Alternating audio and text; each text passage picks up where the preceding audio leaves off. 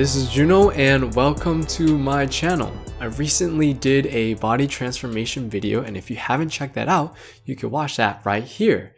And thanks for all of the love in the comments, y'all. I mean, I, I really appreciate it. You know, people be saying the craziest stuff, I'm not gonna lie, but I thank you for that. And, um, you know, I made that video so I can pretty much help and inspire and motivate anyone that's trying to go through a body transformation in a realistic manner. And this is my follow up video. And after a lot of um, reflections on how I can best help my fellow skinny fat Thors out there, I decided to do a five part series and this is part one. So in part one, I'm basically going to share the exact story of what I went through on a month to month basis. Pretty much I'm going to start from zero and go through the entire journey of like what my mindset was. Um, why did I even start doing fitness? How did I look at my workouts? Um, pretty much uh, balancing life and working out and fitness, and then starting to realize that diet is important um, and figuring out how to go from bulking to cutting I'm going to go through the exact journey of what I actually went through, both the good and bad. In part two, I'm going to go through everything that I learned to help anyone that is trying to start from zero, the bottom. They have never gone to the gym or they know nothing about fitness. I'm going to talk about um, a workout plan, how to diet, what my diet was, when to start incorporating cardio, um, what to do in terms of bulking and cutting, all those things that I learned, the must do tips um, to go through a body transformation. I'm going to talk about everything um, so that hopefully someone that is starting from zero can um, directly kind of know and plan out um, their body transformation. I'm also going to talk about the things I learned not to do so that hopefully you can avoid the mistakes that I made right from the start. All right, and then part three, four, and five will be the exact workout routine and exercises that I did.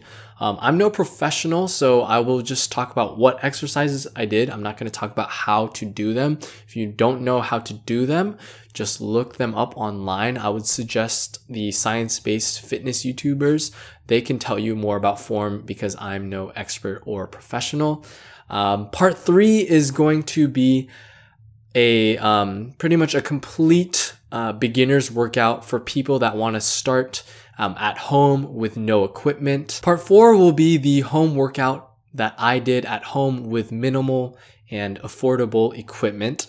And then part five will be my actual gym routine and gym workout and the exercises that I did um, to gain muscle. Before I get into my fitness journey, I wanted to talk about three important points. Um, first and foremost, please don't feel pressure to change the way that you look. And that goes with everything from your body to your body image to the way that you present yourself physically. If you don't already know this, you are beautiful just the way you are.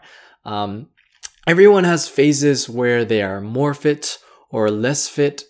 Don't let the world tell you nothing. Seriously, the internet got way too high, unrealistic beauty and body standards that are just whack. And I can get, I will get more into this in part two, but please for your wellness um, and kind of to be happy and to enjoy the entire journey, uh, you, that's something that you do have to understand. You are beautiful. That's something that I learned that helped me stay happy and motivated. Number two, I am not a fitness YouTuber and I don't plan on being one. I'm simply trying to share my experience as a testimony so anyone can benefit Everything that I do and say is experience based, so please make sure to do your research even after what I say. Lastly, uh, this series will be specific to my experience, which is the skinny fat demographic. Um, everyone has a slightly different um, body type, and that definitely plays an, a role. And so, definitely, there will be things that worked for me that might not work for you. And so, definitely take away what works for you. Here we go. Let's take it back to 2020. To give you some context, in high school, I was stick skinny. I was pretty much running um, cross country. And so from high school to college, I basically transformed from skinny to skinny fat. And in college, like any other typical broke college student, you know, I was eating a bunch of late night cheap foods that were super unhealthy. And so I was never thinking about, you know, what was going in my food. And I've never went to the gym. Actually, I did go to the gym three times. Um, yeah, but that was me in college. And then right around March of 2020, I came back home because of the vid and because I was kind of stressed out from school. I came back home and I ate even more food. And so that was where I was at from the start. And I hadn't, I really hadn't exercised for like the last five months. So I was stress eating and stress relieving from the food that I was eating. And then I came across these home body transformation videos. And these were insane because it was, it was so incredible for me to see that like someone that was so kind of out of shape transform into being super healthy and that was like that was fire right? And so i was like oh my gosh. And then i started to like really watch these like i, I probably watched like a hundred at the beginning and i was like oh my gosh. Like i was so motivated and inspired to do this myself. I was like i'm gonna do one for myself. Um, and because it was covid it was locked down i had a lot more time because school was online and it was a bit easier. So I was like, okay, well, I have the time. I'm gonna try to go for it. Also in high school and college, I was always the guy like like, yo, I'm gonna go to the gym next week. I swear, like I'm gonna go. Like I'm gonna go. Like like where's the gym again?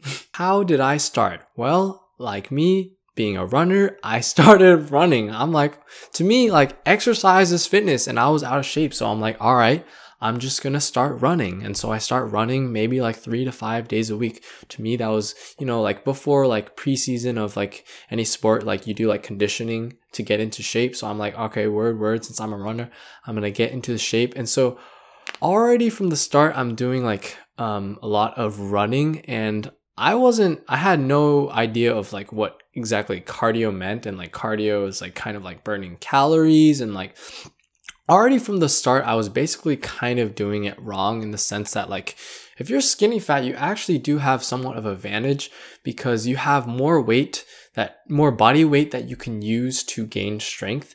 But for me, from the start, I might have been losing weight and I didn't even know. I wasn't tracking that mentally or literally.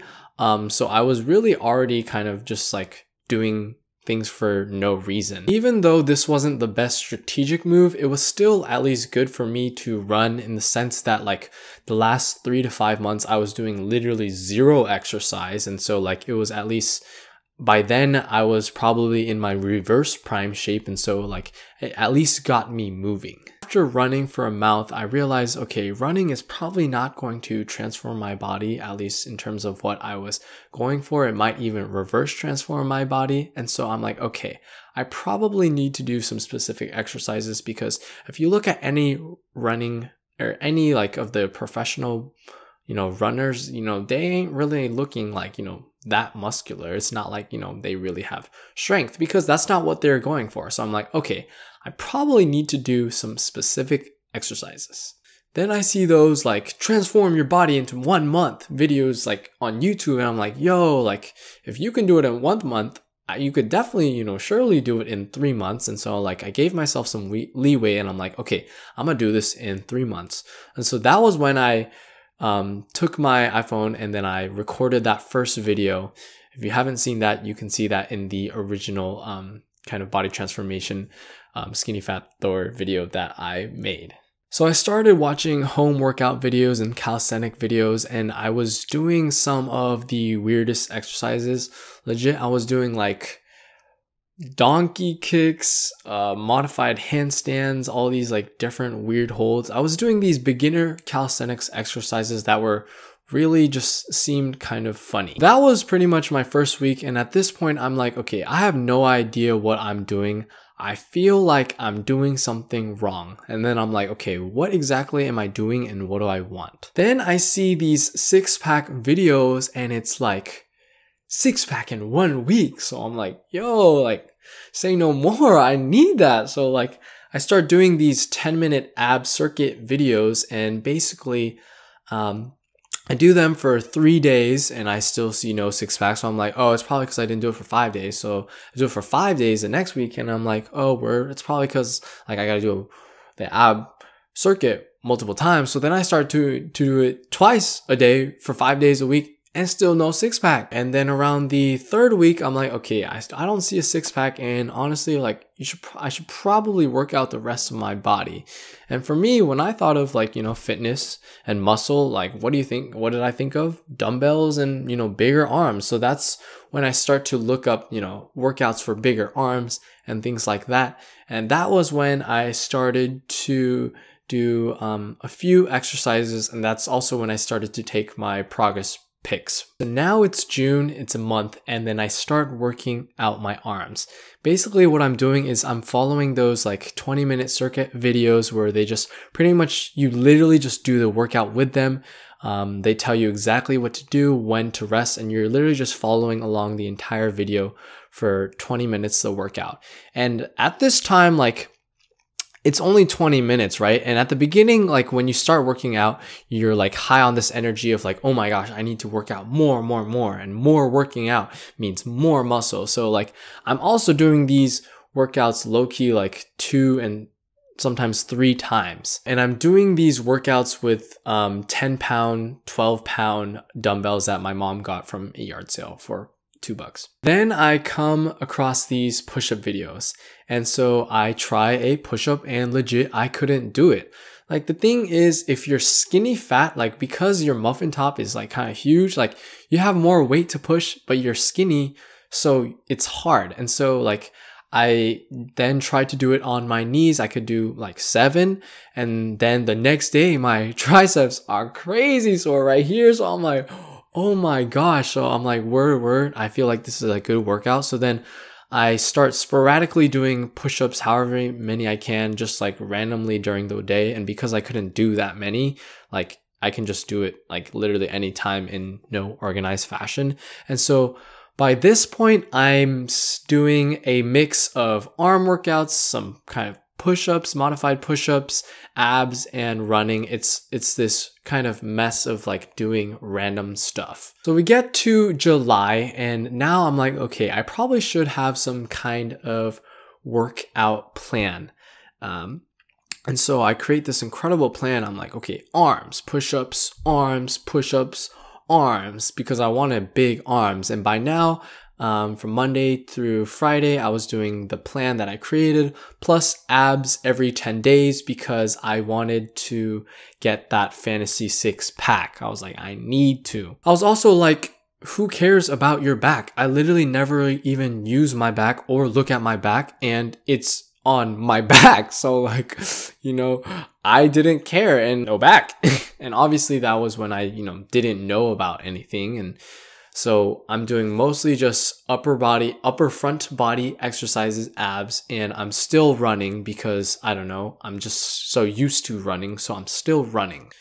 And even worse, because it was the vid times, like my homie was like, yo, let's do virtual HIIT. And so then I'm also doing like running and like I'm doing HIIT, like these 20 minute super intense HIIT sessions every week and so I'm doing a lot of like counterintuitive exercises in the sense that I'm like burning a bunch of calories, but I'm like trying to gain strength. But honestly, I still don't really know what I'm trying to do at this point. That was me in August slash September. And I start to see some little, you know, bicep definition. By now I can do a few push-ups. I can even do some variations, but still, you know, no sign of a six pack. So I'm like, okay, I'll go from instead of a three month body transformation to a six month body transformation. Mind you, I'm not doing any back exercises, right? Lol. And so I come across the pull up video and then I watch these pull up videos and I'm seeing like everyone saying how good of an exercise it is for your back and for other like health benefits and like um, kind of strengthening your back, but also like stretching out your back and like things like posture. And so I'm like, okay, word, I'm gonna do pull ups. And so I buy one of those, you know, cheap pull up attachments you just attach to your door and then I start doing push or I try doing the pull up and when I get the pull up bar I can't do one I can do like I can you know but like I can't like you know and so um, now I'm focused on pull-ups and like the pull-up videos, like some of them like kind of make it seem like they, they lay out the pull-up workout if you start from zero as if like that's kind of the entire workout. So like I'm in this time, like I'm in pull-up mode. And so I'm just doing a pull-up kind of workout, different kinds of like hangs and swings, everything I can to basically increase my um, pull-up count. And so I do that and this continues for about two months and then I can, I increase my pull-ups to like four. I think I go from like kind of one to like four and then like I'm like, okay, it's been like two months that I've just been doing pull-up workouts instead of like the whole arms and push-ups thing. I'm like, okay, I probably should do like a mix of both. Oh, like I need like a weekly routine for all of my different exercises. So then I'm like, okay, new plan. Come October, and I'm like, okay, now I have a workout routine. Um, it, it is now push ups on Mondays, then arms on Tuesdays, then pull ups on Wednesdays, and arms on Thursday, and Friday is push ups. Um, I'm also doing abs three times a day, three times a week because I foolishly still really wanted that six pack. And by now I'm still running. I'm not doing any leg exercises because I'm like running is exercising your legs, obviously. So no leg day or like that is leg day. And so that's where I was at in October. It's been six months since I started and now I can do about seven to nine pull-ups. I can also do about maybe like 30 push-ups um, consist or like consecutively, I've gained some strength, but still no epic body transformation. So I'm like, okay, you know what? I'll just go from instead of a six month body transformation to one year. In my mind, this is hurting my pride like crazy because all over the internet, homies are transforming their body like one month transformation, three month transformation, like six month transformation. Some people even like in one week. And I'm like, what? Like what? Like what the flip? And so um, this is kind of where my mind state was at. I was still gaining strength, but still no epic tra- body transformation. So I'm a little, I'm slightly discouraged. In December of 2022, my family actually moved from Sacramento to Raleigh, North Carolina. And so my consistency of working out went more so from like five days a week to more like two to one days a week because like we had to do so much packing that I like was pretty like busy and like also just lazy. That's where I was at in December 2020. That's when we moved to North Carolina.